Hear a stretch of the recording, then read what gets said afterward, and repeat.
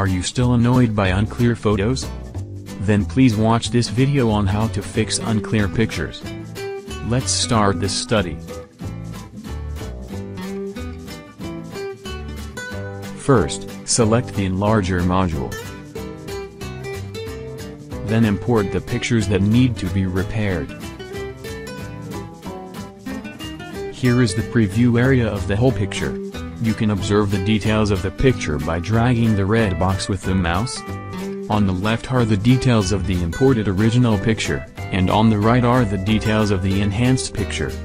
Here you can choose the scale factor of the picture.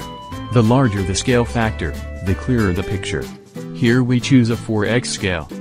Here you can adjust the suppressed noise of the picture, and you can make some adjustments according to the picture.